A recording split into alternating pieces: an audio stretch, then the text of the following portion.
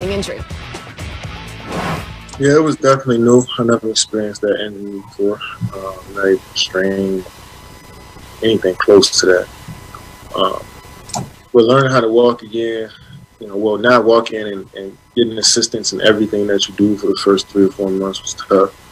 Uh, I've been through surgeries and injuries before, but you know, the longest you know, recovery I had was three months. But the first phase of the Achilles was three months long, and you couldn't walk or run you had to use a scooter. So I think just those milestones of reaching, like learn how to walk, learn how to run, jump again, and getting used to certain movements again. I think that's that's underestimated. People don't realize that. You've already been asked about uh, James Harden a little bit here, but I mean, the, the reports are pretty wide that you two talked while you were working out in LA, and apparently he expressed interest in wanting to join you. Do you relay that James wants to play with the Nets to Sean as soon as you hear something like that? I don't know where you're making these stories up that me and James talked about any of this at a workout. Like, I don't know where that came from. And James is a friend of mine, but I let the front office handle all of that stuff. I heard all the noise, and I heard that, you know, James potentially wanted to come to the Nets, but anybody can make up stories. I never thought too much about it. Just focused on myself, and my teammates probably did the same thing. You know, we just move forward. Are you 100% right now, or are you limited at all in practice, or can you go? Can are you physically going 100%? Oh yeah, every every drill that I've done, I've been going as hard as I could. I mean, 100%. I mean, what it was. I mean. I've been in the league for 14 years. Even if I didn't have an Achilles, I probably wouldn't be 100%, you know? So, um, you know, it's the wear and tear over time, I guess. Um, but I feel, I feel solid.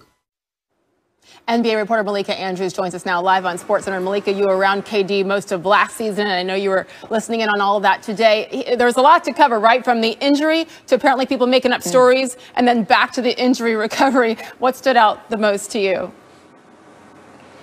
Well, first of all, Sage, you know, we we are standing by our reporting and what we reported on on that initial interest between James Harden uh, and the Brooklyn Nets. But today, what really stood out to me was how Kevin Durant didn't lean into I am going to absolutely unequivocally be the MVP version of Kevin Durant. I'm going to temper expectations a little bit because he knows that this is an incredibly serious injury that he's coming back from, and he said that he isn't sure he's feeling good right now. He heard him just say he's going through drills as, as close to, at as close to 100% as his body can provide. But in the same breath, he's saying he wants to see what it feels like to really be in a game before he's ready to declare that he's 100% back and this is exactly what he is going to look like. Yeah. He also talked about working out with Kyrie Irving, which was very interesting because they are building that chemistry in the offseason already.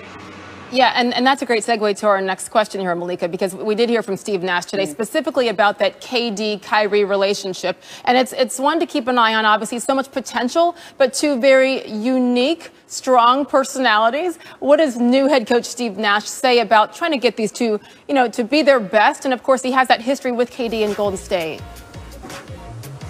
Absolutely. Well, Sage, first of all, what's most important that he said is he would be surprised to see both Kevin Durant and Kyrie Irving play in all 72 games this season. With Kevin in particular, he said that we may, to some degree, have to save him from himself a little bit here because he wants to play at the highest level. It's a serious injury that he's coming back from. He didn't say specifically how many games there would be some form of load management there, but it would be surprising to him to see them out there for all 72 games. He also alluded to potential potentially seeing some glimpses of that seven seconds or less Suns team that he played for mm. and that mm. D'Antoni coached, who's now on that staff.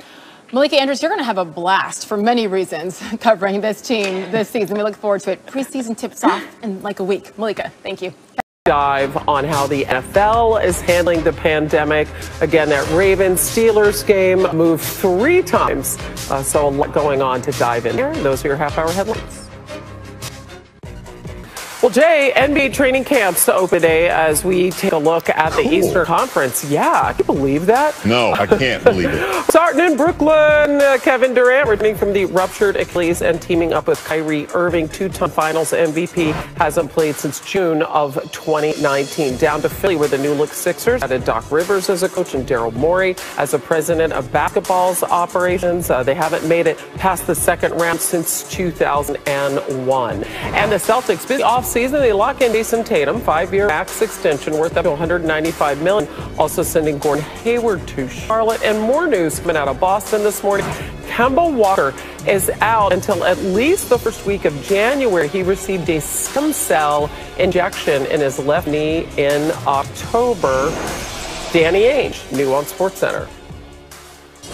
Well, I think this next year will tell us a lot more. I think um, you know, he saw some specialists over the last, um, I don't know, six or eight weeks, and they all came to the same conclusion. And I think that gave Kemba a great peace of mind. Maybe we didn't do him justice by bringing back fast into the bubble. I think this has as much to do with the turnaround as anything else. I think if we were starting games in the middle of January, he'd probably be starting right along with us, and I don't even know we'd be talking about it. Um, so I do think that you know it's it's very similar to what I said when we got to the bubble. This is about making sure that he feels great, strengthening appropriately, moving at the right pace, hopefully playing his best basketball late. For more, let's bring our NBA insider, Brian Windhorst. Okay, Brian, Kemba Walker out till at least January after he got that stem cell injection in his left knee. How much of a concern is this for the Celtics going forward? Yeah, I think this is one of the most important things in the Eastern Conference to watch early in the season. Uh, Walker has really been bothered by this since last All Star break. He's been dealing with it on and off, and he's such a different player when he's live. When you watch him out there, and you can tell when he's feeling good. He's that kind of electric player. And the Celtics here are opening the door for the fact that he may not be right well into the season. Even when he does come back, they're expecting him to have limited minutes. This is one of the reasons why they signed veteran Jeff Teague to, to start in his place if he needs it. But Danny Ainge today said that they do not have any plans to use their $27 million trade exception. There are players out there that they could get to help them, and maybe they will have to go to that step. For, but for now, they're going to stick with what they have on their roster. Let's see how it develops. Yeah, Kemba averaging over 20 points a game in his first season with Boston NBA players began reporting to facilities today, but Anthony Davis still yet to resign the Lakers. So, Brian, what's the holdup with they well, he is going to meet with the Lakers today, have a discussion about what their medium and long term plans are. Now, there's been some speculation out there that Anthony Davis may be waiting to see what Giannis Antetokounmpo does with his extension. But I am told that what Anthony Davis is focused on right now is whether to sign a short contract. The three options looking at are one year plus an option, two years plus an option, or four years plus an option. And he's just been indecisive, Jay, because he signed a five year deal in New Orleans ended up regretting being under contract that long, and he just wants to make sure that he's got peace of mind about it. Most people in the NBA think he should sign a two-year deal, but we'll see. If he only signs for one, the Lakers could have salary cap space next summer. He averaged nearly 28 points a game in the postseason, again helping the Lakers win their first championship since 2010. Brian, thank you so much and outlining health and safety protocols. Notably, the document doesn't address what triggers a decision to suspend the season, but it does indicate that a small or expected number of COVID cases would not require a decision to halt play. Now, as part of the protocols, any player who tests positive cannot participate in any team activity for at least 10 days, and players with severe cases or those hospitalized will be observed for at least three full days before returning. Travel parties will be limited to 45 members, including 17 players. So we're joined now by senior NBA insider Adrian Wojnarowski. Woj, nearly 140 pages involved in the protocol sent out by the league to teams. What are the biggest concerns that you are hearing? Uh, Ryan, in, in, conversations with team presidents, general managers, they're just trying to plow through those 140 pages and understand it fully, you know, because NBA general managers see what's happening in the NFL. They saw in baseball, you know, when, you know, there are teams who are fined, who are uh, facing losses of draft picks, you know, based on not complying with the rules. So they want to fully understand how to implement this at this or, their organizations. And you know, a big difference now for NBA teams is they're going to be on the road traveling. They don't have the protection of a bubble. And just trying to make sure that not just when they have the players with them, but when the players are away from them, either on the road or at home, and they come in contact with those who might have the virus, how that impacts their teams and locker rooms. But there is just a lot for teams to get their arms around now. And that's really what they're trying to uh, get through here as players are starting to return and camp is on the cusp of starting. So many more variables for them to deal with than when they were inside that bubble. We'll see how they manage it. Now, you reported last week that free agent Anthony Davis would not resign right away with the Lakers, that it extended until past Thanksgiving. So, for past Thanksgiving, where do things stand? Yeah, Anthony Davis, his agent Rich Paul with Klutch Sports, they're you know they're still talking with the Lakers, and you know you can expect the deal's going to get done here. You know before the Lakers formally start their camp uh, closer to the weekend. Anthony Davis wants to understand what all his options are in terms of length of deal, and that's the conversation they've had with the Lakers. Does he do a deal like a two plus one contract that would put him uh, with LeBron James and have those two, uh, you know, be on the same contractual course? And so those are all conversations. He can do a longer four or a five year deal. Those are the conversations they're having now with the Lakers still. All right, and we've got 22 days until the scheduled tip to the NBA season. That is Adrian Wojnarowski. Coach, thanks.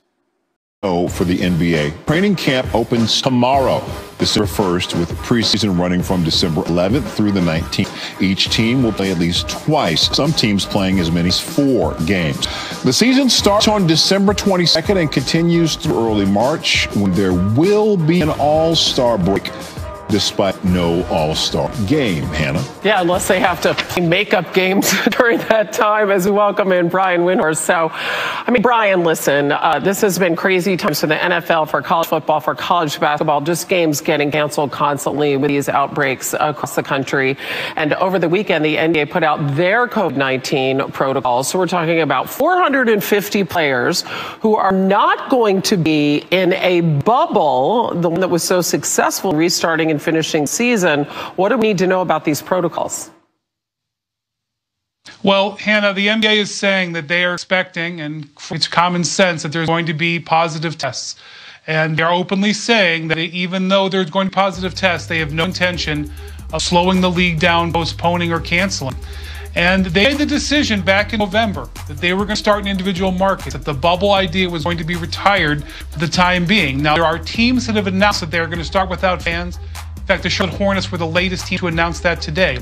But the NBA is going to try to fight through this, going to try to manage this situation, and they are going forward. And they are going to start Christmas week, and they are going to get as many games as possible to try to mitigate what you're talking about. They are not going to announce the second half of their schedule until later into, into 2021 so they can hopefully make up games that they know will probably have to be postponed. Yeah, and players who test positive could be out as long as 12 days. That's several games in there. It's not just a weekly game like the NFL. So you could perhaps foresee some sort of domino effect. It'll be fascinating to see how that goes um, as players begin reporting tomorrow. And we have a couple of unresolved stories, really big storylines regarding the Lakers and the Bucks. Let's start in LA with Anthony Davis.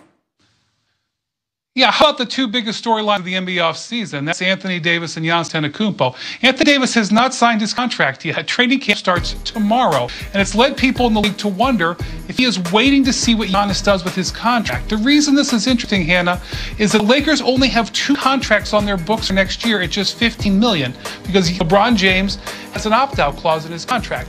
And if Anthony Davis builds his new contract with an opt-out clause, they could have anything on the table. They could go chasing after free agents, whether it's Giannis or not. So definitely keep an eye on that. He's running out of time to sign him. As for Giannis, he returned to Milwaukee from Greece over the weekend, and the expectation that the team has is they will meet with him in the next few days to discuss his contract extension. Now, it's $225 million in five years, but he only has until December 21st to make up his mind, and then it goes away until next summer. This is obviously a massive thing, arguably the most important thing in the NBA right now, and Giannis is going to have to address at some point. It's